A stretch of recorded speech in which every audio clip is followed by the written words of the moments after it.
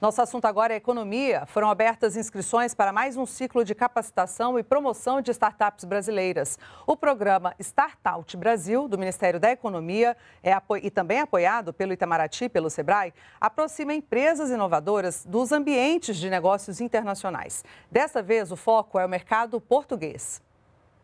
Serão selecionadas até 40 startups, de preferência as que estejam faturando acima dos 500 mil reais ou tenham recebido algum tipo de investimento. Os gestores serão capacitados para alavancar o negócio no Brasil e buscar mercado no exterior, a começar por Lisboa, Portugal. O objetivo é levar a inovação brasileira para o mercado internacional. As startups são escolhidas segundo o potencial de inovação em alta áreas como biotecnologia, telemedicina e sustentabilidade. O programa começou em 2017 e já ajudou a levar brasileiros a Paris, Berlim, Miami, Boston, Santiago e Toronto. Para participar, as startups precisam se inscrever nesta plataforma do programa. Quem for selecionado começa a capacitação ainda no Brasil, com lições sobre o mercado português. Depois, é hora de pegar o passaporte, fazer as malas e seguir para Lisboa. Durante uma semana, as equipes vão conhecer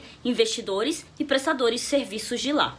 A gente vai identificar quais são os parceiros ideais para eles naquele destino e vamos conectá-los uh, com investidores e potenciais clientes.